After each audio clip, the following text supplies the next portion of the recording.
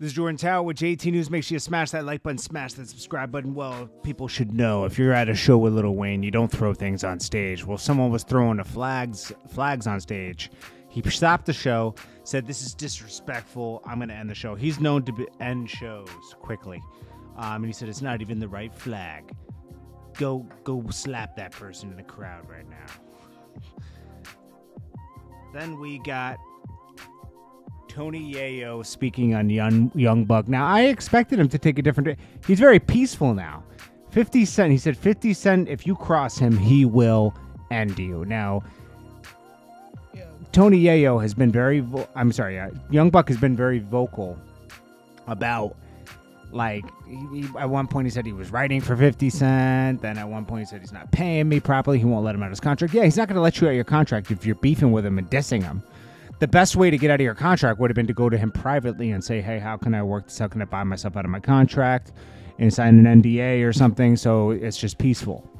But no, Young Buck had to go on a big ti- tirade and everything. Then the whole, you know, trans thing came out, the rumors for that. And, you know, Tony Yayo said, like, you know, 50 will end you if you go against him. But, you know, the whole, as far as the trans thing, that's his decision. I mean, that's a, that's a personal decision right there. But I expected Yayo. Yayo used to go off for 50. I think he just likes to stay out of the way right now because, you know, once you start doing all that, then you're, you who, you know, there's a point where you just want to like, except for 50 Cent, you just want to like not be involved in a bunch of beef. 50 Cent welcomes all that beef because it's just free promotional opportunities. I mean, Tony Yayo has been the most loyal one in G Unit. Um, Young Buck recently talked about the whole thing with 50 Cent and everything, and you know he had good things to say, but you know the damage is done. You know, like everyone in G Unit kind of just grew apart. It didn't have to be like that, and then that brings us us to my next topic where.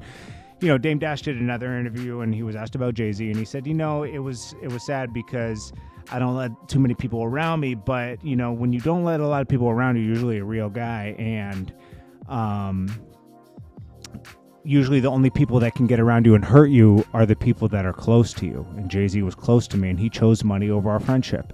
We were doing things against the algorithm, the way things are normally done, and he chose to screw me over and then go right along with how things are being done. You know, like Roc-A-Fella was for us, and now it's just for him. You know, he stole away from everybody.